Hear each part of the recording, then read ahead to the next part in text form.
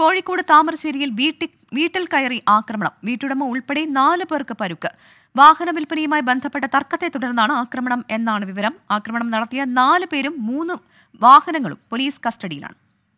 പിന്നെ അപ്പോൾ ഈ വണ്ടീനെ പറ്റിയാണ് തർക്കം ഉണ്ടായത്. അങ്ങനെ വരികയും തന്നെ വണ്ടിന്റെ ഗ്ലാസ്സിന് ഒരു അടിയ. അത് ഇഷ്ടിക എടുത്ത് ഗ്ലാസ് പൊട്ടി ഫ്രണ്ടും പൊട്ടി ബാക്കും പൊട്ടി. പിന്നെ അവർ ഇരുമ്പ് വടി കൊണ്ട് ഞാൻ ത- തലയ്ക്ക് അടിക്കാൻ വന്നപ്പോൾ ഇവിടെ നാല് സ്വിച്ച് ഉണ്ട്. ഞാൻ തടുത്ത് തലയോണ്ട് തടുത്ത്. തലയോണ്ട് തടുത്തപ്പോൾ ഇവിടെ തോളിൽ പരിക്കേറ്റ്. ഈ ചെറിയ ഒന്നര വയസ്സുള്ള രണ്ട് ഇരട്ടക്കുട്ടികളായിരിക്കും. അവരെ പിടിച്ച് നിലത്തടിക്കാൻ നോക്കി വീട്ടിന്റെ ഉള്ളിലേക്ക് കയറി വന്ന് മൊത്തത്തിൽ ഒരു എന്താ പറയുക ഒരു കലാഭൂമിയാണ്. മിഥില ബാലൻ ചേരുന്നുണ്ട് കോഴിക്കോട് നിന്ന്. മിഥില ഈ തർക്കമുണ്ടായത് തമ്മിൽ പരിചയമുള്ളവർ തമ്മിലാണോ? എന്താണ് സംഭവിച്ചത്? വണ്ടി വിൽപ്പനയുമായി ബന്ധപ്പെട്ട് ഇത്ര വലിയ ആക്രമണം ഉണ്ടാകാനുള്ള സാഹചര്യം എന്താണ്?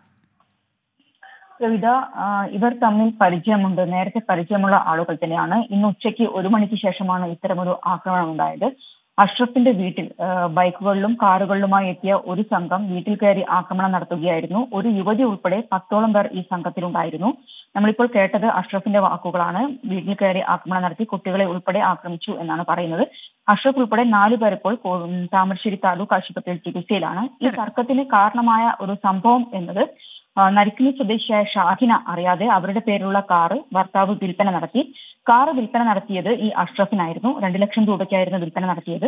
ഇതുമായി ബന്ധപ്പെട്ട തർക്കം അല്ലെങ്കിൽ ഈ കാർ അന്വേഷിച്ച് ഷാഹിന ഷാഹിനയും ഒരു സംഘം ആളുകളും എത്തിയതാണ് ഇത്തരത്തിലുള്ള ഒരു തർക്കത്തിൽ കലാശിച്ചത്. താമരശ്ശേരി പോലീസ് ഇപ്പോൾ താമരശ്ശേരി ഡിവൈഎസ്പിയുടെ നേതൃത്വത്തിൽ ഇപ്പോൾ അന്വേഷണം തുടങ്ങിയിട്ടുണ്ട്. കാർ വിൽപ്പനയുമായി ബന്ധപ്പെട്ട തർക്കമാണ് അക്രമത്തിൽ കലാശിച്ചത്. വിവരങ്ങളാണ് മിഥില ബാലൻ നൽകിയത്.